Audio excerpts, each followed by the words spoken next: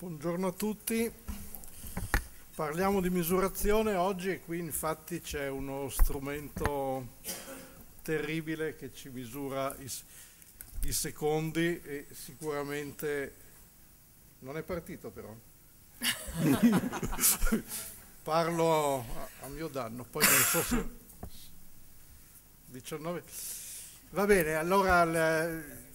pensavo di introdurre il tema con eh, qualche considerazione generale, anche abbastanza problematica, insomma, che metta in evidenza luce e ombre insomma, di, una, di, una, prospettiva eh, diciamo anche evolutiva dei, dei sistemi di, di, valutazione del merito, delle performance nel, nelle, nelle aziende, nelle organizzazioni di, di, diverso, di diverso, tipo. Ecco, potremmo, potremmo, cominciare a dire insomma, che, che, alla fine parliamo di cose tutt'altro che nuove, no? ci sono decenni e decenni, decine d'anni di esperienze nelle aziende di tutti i tipi e quindi il rischio che si corre un po' parlando di, di performance, di merito, di, di valutazione, di misurazione, eh, è quello della, della ritualità, della, della, stanchezza che in qualche modo qui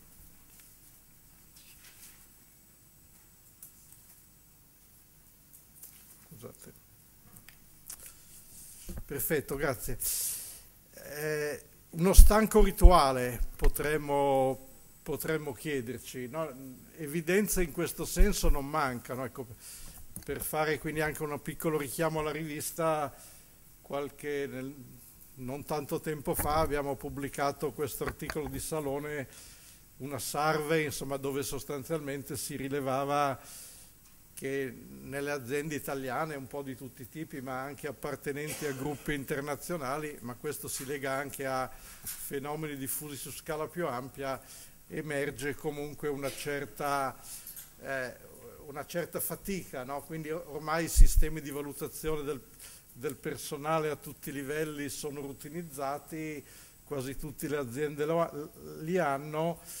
eh, e però eh, non sempre questo incontra soddisfazione, no? quindi gli stessi uomini e donne del personale non di rado insomma, esprimono no?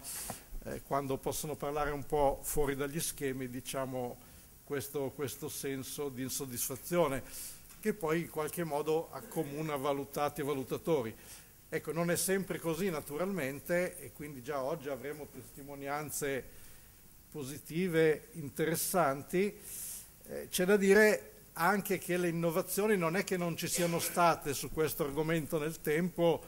ci sono state innovazioni di metodo, di tecniche, sul, per esempio sul tipo di metriche sempre più sofisticate, eh, tecnologico ovviamente il, il, supporto dei sistemi informativi è molto migliorato, molto aumentato, diventato sofisticato, eh, di metodo che so del tipo della valutazione a 360 gradi, cose così che sembravano anche in un certo periodo interessanti, ma insomma tutto sommato nessuna di queste innovazioni ha veramente realizzato un cambiamento di, di, di, di grande rilievo capace di essere veramente persuasivo. No? Quindi in fondo i sistemi sono ancora quelli degli anni 70 e 80, un po' aggiornati con le tecnologie, insomma qualche infiorettatura, qualche cosa di, più sofisticato, ma non,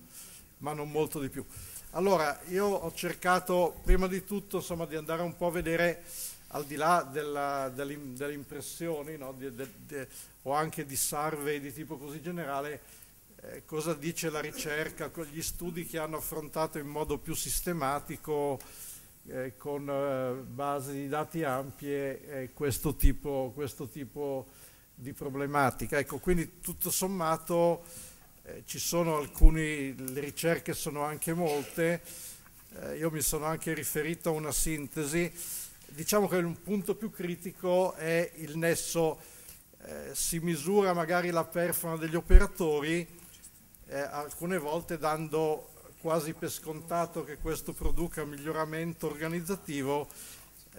nel senso di riguardante le performance aziendali e invece non sempre questo è vero o comunque un, il nesso non è dimostrato con evidenza. Ecco, una ricerca di sintesi abbastanza recente che però ha esaminato un po' eh, tutto quello che è stato elaborato, però ci dice qualcosa di più interessante, di più incisivo, parlando in questo caso di sistemi di performance management che considerino la, l'aspetto organizzativo e anche quello di, eh, riferito agli operatori, alle persone e quindi tutto sommato questa, eh, questo collegamento fra risultato aziendale e valutazione del, del personale non è che non esista, ma lo si riscontra in modo più chiaro in una minoranza di casi nei quali sussistono alcune condizioni abbastanza precise cioè che il sistema di valutazione sia integrato con gli altri sistemi di gestione del personale, quindi non sia uno strumento che sta da solo, ma sia in qualche modo un aspetto di una politica del personale più ampia, eh, che ci sia un allineamento abbastanza curato con obiettivi eh, strategici competitivi di mercato dell'azienda, quindi che il personale in qualche modo si valga anche di una, di un, di una forte pressione e informazione eh, di, di, quello che, la, che, l'azienda, quello che è vitale per, per l'azienda o per, l'unità in cui opera, ecco, che comunque ci sia forte attenzione ai comportamenti, pensiamo a tante aziende di servizi no, che hanno bisogno che il front office sia rispondente sia, eh, offra qualità e quindi che questo sia molto focalizzato anche in termini diciamo così di comunicazione. E poi c'è un quarto punto che è quello probabilmente più critico dove molte velleità finiscono per cadere, cioè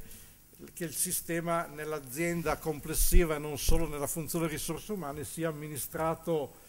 con coerenza, autorevolezza, correttezza e che in qualche modo ci sia una garanzia, un impulso coerente da parte dei vertici aziendali, quindi non ci siano incoerenze, sfasature comportamentali lungo la linea, la linea manageriale. Ecco, sappiamo che questa probabilmente è la condizione più difficile, no? perché molte volte è un aspetto che viene sottovalutato, sottovalutato o trascurato. Sicuramente ci sono alcune problematiche eh, sottostanti eh, queste difficoltà che sono, che sono legate probabilmente alla, alla complessità. Ecco, diciamo che insomma, la fisiologia in qualche modo ci dice che la, l'aspetto più critico è quello eh, di andare ad incidere eh, sui comportamenti, diciamo, trasformando quelle che sono alcune qualità generali, eh, professionali, di abilità e anche di tipo comportamentale, trasformandole in abilità più focalizzate sulle criticità specifiche dell'azienda, cioè diventa un po' firm specific e non soltanto generico il contributo che viene chiesto al personale, cioè quindi problema di contestualizzazione rispetto alle condizioni effettive. Quindi questo è un po' il punto dal punto di vista tecnico eh, da alcuni discorsi più generali sulle competenze, sulle professionalità, sui comportamenti a una traduzione in termini più, in termini, in termini più mirati. Ecco, eh, sappiamo poi, questo è un altro aspetto, io me ne sono occupato abbastanza, eh, oggi si è diffusa la valutazione delle performance in molti campi, anche fuori dal mondo aziendale vero e proprio, nel, nel non profit, nella pubblica amministrazione e lì troviamo criticità, quindi ci sarà anche qualche intervento oggi su questo, troviamo delle criticità ulteriori e in generale una maggior difficoltà ancora a ottenere i risultati desiderati eh, eh, proprio perché eh, tendenzialmente eh, sono più difficili a parte alcune inerzie che possono esserci, ma sono fondamentalmente più difficili i risultati da valutare, interpretare la performance è più complicato e qui occorrerebbe un impegno maggiore ancora nella comunicazione, nell'interazione, nel, nel coordinamento. Ecco, alla fine il discorso è comunque quello, sia nel pubblico che nel privato, eh, più che di intervenire con nessi meccanici no, tra performance e incentivi, eh, diventa più importante creare un clima generale di attenzione a quello che si fa e quindi di impulso a una performance concepita in modo non troppo restrittivo, diciamo, ma aperta alla riflessione. Quindi il beneficio dovrebbe essere non, non, sempre meno nel nesso meccanico premio-prestazione, ma sempre di più nel creare una condizione nella quale le persone sono invitate a ragionare su quello che si fa e a tenerne conto nel momento in cui devono reagire anche agli imprevisti, alle incertezze, soprattutto all'interazione con l'esterno e con i clienti. Sullo sfondo ci sono questi due grossi problemi che conosciamo tutti bene, insomma il, il gaming, cioè il fatto che i sistemi hanno comunque un qualcosa di burocratico e quindi alla fine portano l'attenzione su target limitati e questo offre spazio a tutta una serie di comportamenti opportunistici che generalmente si verificano, non so, pensiamo intorno al budget, no? i giochi di budget eh, la,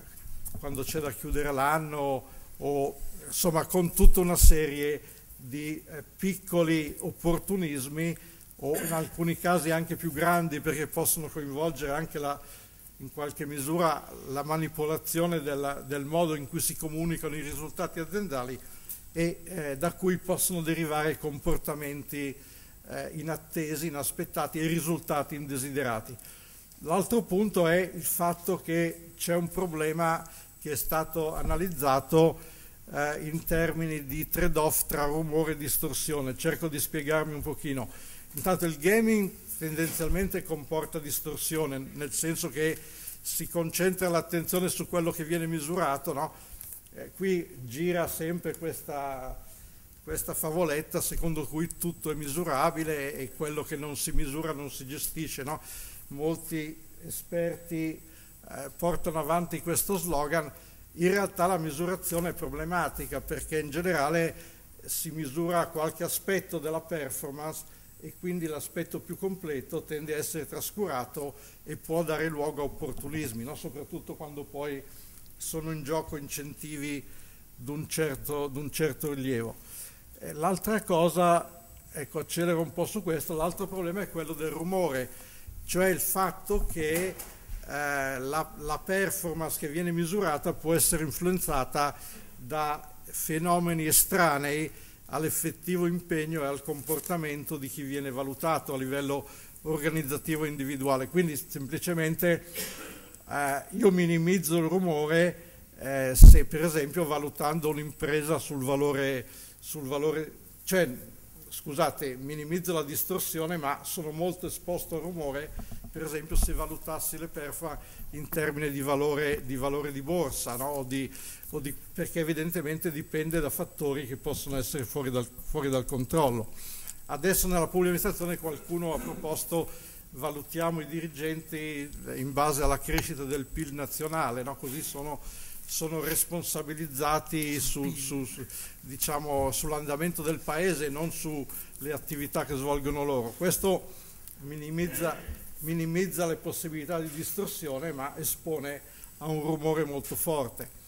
Se vado sul profitto è un po' più manipolabile, però è sempre un dato eh, abbastanza oggettivo. Se scendo a livello di unità organizzative fino eh, ai profitti di, di, di, unità o di stabilimento addirittura semplicemente ai costi, questo è un dato invece probabilmente sul quale non c'è rumore perché è più vicino al, al comportamento che so dei dirigenti responsabili, ma c'è un rischio di distorsione perché i dati possono essere molto più facilmente oggetto di giochi di gaming eh, di manipolazione. Ecco,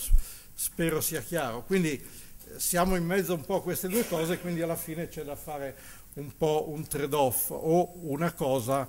o una cosa o l'altra, oppure mi assesto un, un po'. E quindi qui tutte le discussioni che si fanno possono essere spesso valutate su questo punto. Quindi la, la teoria alla fine ci dice eh, tutta una serie di cose che potrebbero anche rendere abbastanza eh, così eh, chiaro il discorso, no? quindi occorre l'integrazione, occorre creare un ambiente favorevole, occorre il diretto impegno dei vertici, poi, quindi, poi le tecniche servono ovviamente senza un sistema informativo adeguato, poi la gestione dei dati è difficile, tutto questo aiuta ma non è risolutivo perché i fattori chiave sono quelli che ho detto. Eh, e quindi oggi non si può più comunque avere un approccio di 30 anni fa, essere troppo ingenui, naif, no? pensare così che incentivare la performance, valutarla in modo automatico, generi, generi sviluppo, generi sia risposte alle attese delle persone che a quelle delle aziende, ma bisogna avere consapevolezza dei rischi e delle possibili contro, controindicazioni. Ecco, eh, c'è da dire, eh, il nostro convegno però ha un doppio titolo, no? c'è il discorso del merito ma c'è anche quello dell'equità o se volete in qualche, in qualche misura della, eh, dell'etica, ecco, la, e questo è un punto, un punto importante no? che rende il quadro eh, un po' meno chiaro, un po' meno, un po meno netto, eh, perché comunque eh, la valutazione della, di ciò che attiene al lavoro, no? perché poi di questo si tratta, eh, tocca alla fine lo si voglia o no, per quanto noi possiamo dire non si valuta la persona, si valuta la prestazione, si valuta il risultato, per quanto lo diciamo comunque la sfera personale viene toccata e quindi questo dovrebbe in qualche modo responsabilizzare tutti perché si va ad agire in uno spazio diciamo molto, molto delicato e quindi nel, quando si ragiona anche sulla professionalità dei dirigenti dei quadri intermedi l'aspetto valutativo eh, non è soltanto un'abilità richiesta, una competenza, ma ha un risvolto sicuramente di tipo, di tipo etico, no? di tipo eh, di contributo a gestire un discorso, un discorso di equità e quindi c'è la la, la necessità soprattutto di tenere in conto quello che è il sentire diffuso del personale e anche un po' di quella che possiamo un po' definire come la, la pancia dell'organizzazione. Quindi eh, se andiamo probabilmente a sentire la base, molte volte i sistemi di valutazione eh, non, non, vengono percepiti, insomma a torto o ragione, non sempre vengono percepiti co- come eh, brillantemente gestiti e quindi qui, su questo piano si gioca un aspetto importante della politica dell'organizzazione, cioè il fatto che ci sia un clima favorevole alla performance eh, lo deve in qualche modo riconoscere la gente, no? non è un fatto che viene garantito da, dalle tecniche, dai sistemi che si, che si adottano, quindi bisogna cimentarsi con un rapporto diciamo, con l'opinione delle, delle, persone, che poi possono avere anche loro tutte le, le proprie possibili distorsioni, ma comunque eh, va, va, considerato. Ecco, il campo della valutazione, qui sto mangiandomi tutto il tempo, ma cerco di arrivare a conclusione, eh, insomma è strutturalmente esposto a una pluralità di logiche e di visioni, insomma ci dobbiamo confrontare comunque con diverse culture che si sedimentano in qualunque azienda e che col tempo stanno divenendo più chiare. C'è una logica di regole, di razionalità, di, di, possiamo dire di ordine organizzativo, no? che è un po' più tradizionale ma ha il suo senso, dà ordine e anche qui c'è anche un aspetto di equità, c'è un aspetto e una cultura di relazione tra persone quindi dove c'è il problema di rispondere alle attese collettive individuali e c'è un problema sempre più attuale di logica economica del mercato degli scambi, no? quindi gli economisti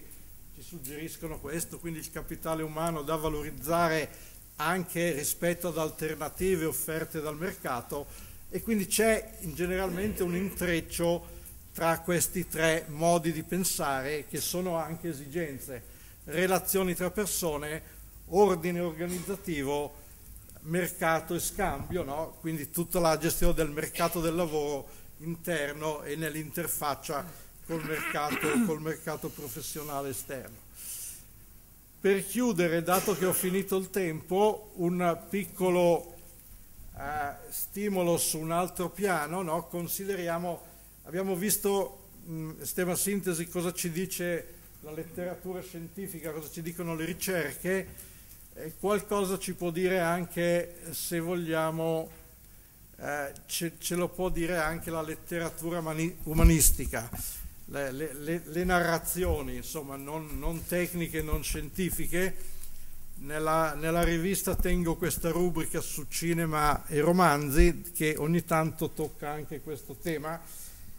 da questo recupero solo due, due spunti, eh, così per una riflessione più ampia. Di, di, qualche tempo fa c'è questo libro eh, Re Pallido, no, che già il titolo evocativo, di Foster Vallas, che purtroppo ha avuto una fine tragica, un libro di complessa lettura, però ecco, eh, tratta di temi di un'organizzazione un'organizzazione pubblica, la, l'Agenzia delle Entrate Americane, e ci troviamo, insomma, abbiamo parlato prima del ruolo dei vertici, ecco, per lui il re è pallido e soprattutto è esposto al fatto che le persone ne sono consapevoli, quindi c'è una debolezza dei grandi vertici organizzativi e la contrapposizione fra il grande manager eroico e invece lo stile molto più partecipativo, porta aperta, ma tutti e due sono percepiti come deboli e alla fine quello che emerge è una figura un po' scura no? di manager intermedio che eh, riconosce la realtà molto più realista, dice io sono in un'organizzazione reale che non è ideale e però questo prende sul serio le persone, quindi riconosce anche i sistemi premianti inevitabilmente hanno una componente burocratica eh, che non va demonizzata, va in qualche modo accettata, ma alla fine questo dirigente prende sul serio le persone, le considera come tali e cerca di far funzionare le cose diciamo, nel modo migliore possibile, diciamo, non eh, prendendo per oro colato tutto quello che viene, che viene proposto dall'alto. Quindi un stare un po' in un terreno intermedio un po' opaco ma molto realistico e con eh, l'obiettivo insomma, di salvaguardare rapporti personali. La troverete in questo numero che sta uscendo, che speriamo che è arrivato, quindi un, c'è questo romanzo avveniristico che riprende un po' il, il nostro caro Orwell, il cerchio, quindi organizzazione proiettata nel futuro, dove c'è questa giovane neossunta entusiasta no, dei, di sistemi molto avanzati, dei, dei feedback con la tecnologia più avanzata, quindi il cliente ti potrà valutare su una scala da 1 a 100 questa opera proprio nel, nel servizio ai clienti no, per, via, per, via, telematica.